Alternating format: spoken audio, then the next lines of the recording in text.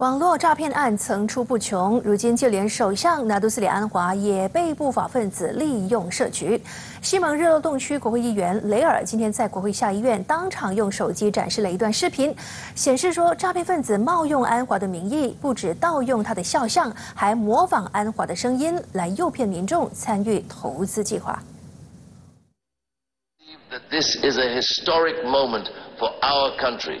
Leave your contact details on the official website to get advice from our experts. 雷尔今天参与二零二四年个人资料保护修正法案辩论时，展示了这段视频。他表示，视频中有安华的肖像，声音也惟妙惟肖。